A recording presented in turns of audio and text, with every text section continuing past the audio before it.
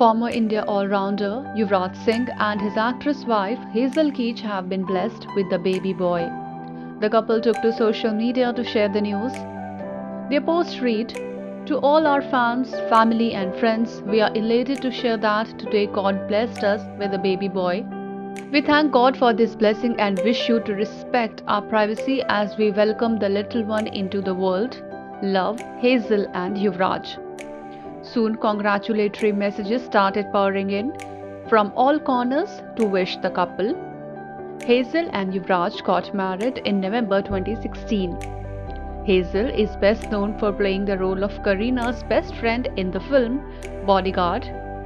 The film also starred superstar Salman Khan.